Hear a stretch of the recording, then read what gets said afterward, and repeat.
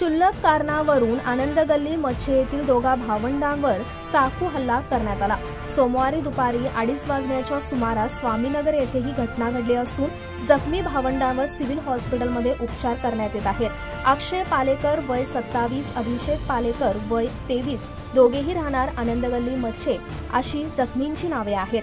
अक्षयवर उपचार करून घरी जाऊ देण्यात आले आहे तर अभिषेकला सिव्हिल हॉस्पिटलमध्ये दाखल करण्यात आले आहे. रात्री उशिरापर्यंत एफ आय आर दाखल करण्याची प्रक्रिया सुरू होती. उपलब्ध माहितीनुसार अक्षय हा मध्ये नोकरी करतो. दुपारी दुचाकीवरून तो जेवणासाठी घरी जात होता. त्यावेळी स्वामीनगर नजीक पाठीमागून एका दुचाकीची त्याला धडक बसली. वादावादीनंतर अनगोळ येथील मत्तीन या तरुणाने अक्षयवर चाकूने हल्ला केला. अक्षय दीपक पालेकर राहणार मच्छे. विटीवरून येताना स्पीड ब्रेकर स्लो करल्या करल्यानंतर मागून येऊन मारल्यानंतर मागून येऊन धक्का दिला गाडीला. त्यानंतर तो- दो हातापायी केलं तर चाकू मारून पळून गेले.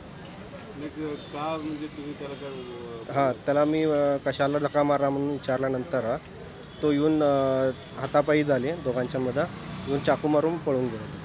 त्या तुम्ही कुणाला बोलवला? मी भाऊला बोलवलं. भाऊला बोलवल्यानंतर दोघांना पण चाकू मारून गेलो. दोघं जण होते. मुजावर नाव आहे मच्छामध्ये मु- मुल्ला गल्लीमध्ये जखमी अक्षयने आपला भाऊ अभिषेकला बोलावून घेतले.